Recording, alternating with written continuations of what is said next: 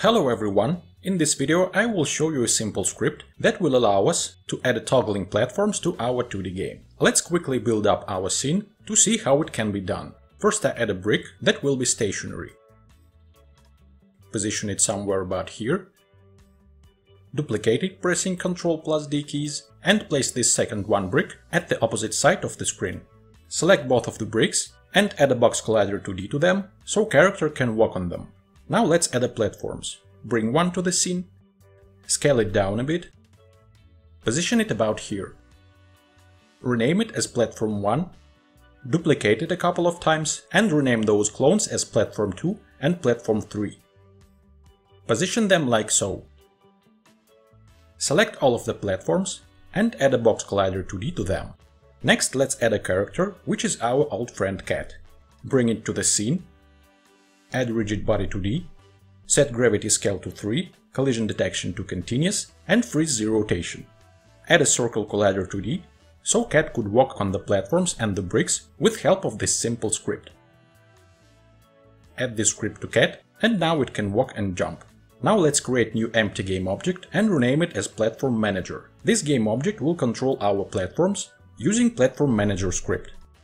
Let's take a look at it.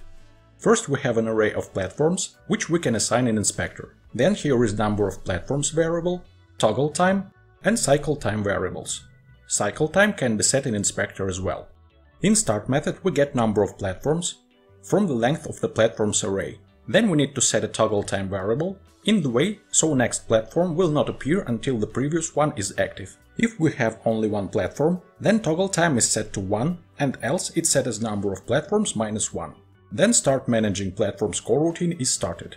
In this coroutine, we go through the platforms array and start manage platform coroutine for each of the platform in this array with cycle time delay, so each platform will have its own life cycle.